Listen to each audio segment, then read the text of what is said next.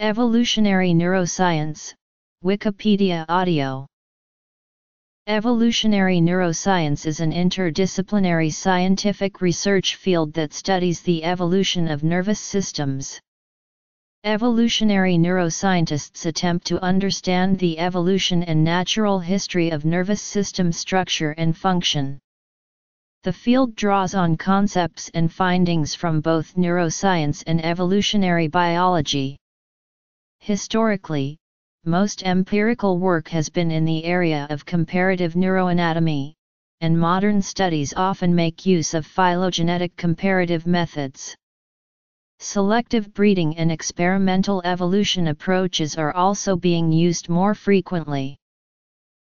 Conceptually and theoretically, the field is related to fields as diverse as comparative psychology, neuroethology, developmental neurobiology, evo-devo, behavioral ecology, biological anthropology, sociobiology, cognitive neuroscience, sociocultural evolution and evolutionary psychology.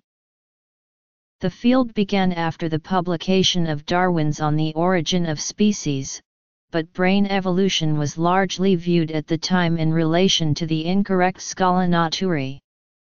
The 1936 book The Comparative Anatomy of the Nervous System of Vertebrates including Man by the Dutch neurologist C.U. Ariens Kappers was a landmark publication in the field. Following the evolutionary synthesis, the study of comparative neuroanatomy was conducted with an evolutionary view, and modern studies incorporate developmental genetics. History Researchers